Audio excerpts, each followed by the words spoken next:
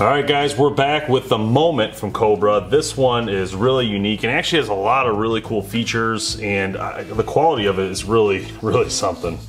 This is a hook style release, and uh, I just want you guys to kind of pay attention to a couple things here. Number one, I have it unlocked here so you can move it. So it's gonna spin like this if you need to retract or extend it, depending on what you're doing uh, for your length. But once you have it, you just you know set it to where you want, left hand, right hand. So I'm right hand, I go this way, take my tool, and we're just gonna tighten it here, little screw, and that's it. Locks it in place. This has an amazing trigger. Uh, I, I was playing with it, I was telling Kevin I really like this one. It has a really nice trigger, it's a hook style, um, very comfortable strap. And what did we learn about the strap? Well, one thing, and it's got a glow in the dark feature. So if you drop it out in the woods, Yeah, the the word Cobra is reflective. it'll help you. Yeah, You shine your flashlight and you'll see it reflect. what we we're talking about in the last uh, release, this one actually has a true fold back. Yeah. So you can see it actually goes in three positions. So Right. that's obviously awesome. You know, it definitely it locks nice and tight. Yeah. And can come back around. Um, again, again, we talk about comfort. Super comfortable. This one has a really nice button on it here. It says Cobra Archery on it. Um, and what this one has a little different is if you want, this has a quick release to get out. So if you decide, you know what, I just want to take it off, you can do that with this one. So it's very, very nice. All right, so let's put it through the firing line. Again, hook style, so it's a little bit different. If you don't know, hook style is going to have only one side going to be on at all times. Um, some people like it, some people hate it, so it just depends on what you want to try.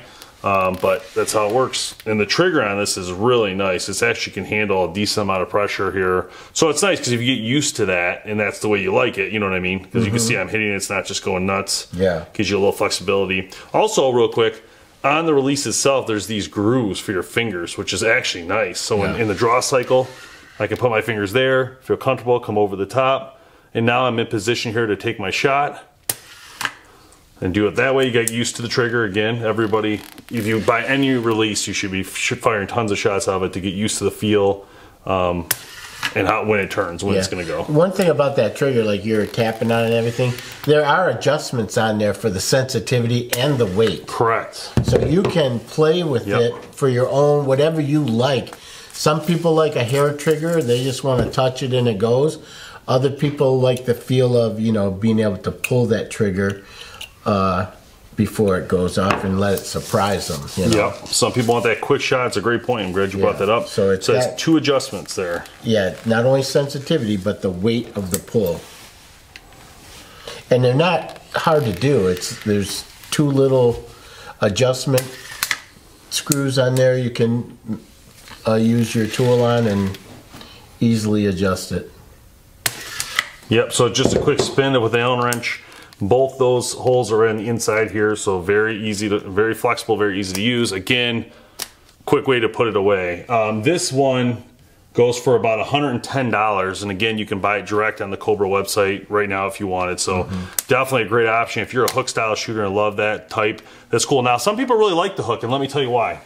When you're in the field and you got your bow, so let's say I'm in the field, I got my bow, and I grab my bow, I see a deer coming, right? I'm like, okay, I gotta get on.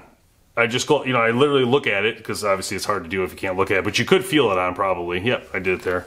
So now I'm on. I have a little pressure on, just so I know I'm on. But some people keep their thumb like this, just to make sure it's not gonna come off, you know. Mm-hmm. So it's a little bit faster is my point. You hook it, you got your thumb on it, you don't have to worry about opening or closing, and then if the deer approaches, you take the shot, you know. So it makes for a very simple but very effective method, and so people love that for hunting, you know. They do. All right, guys, that's the moment. Um, check it out on Cobra's website, and uh, we're gonna go ahead and move on to another one now.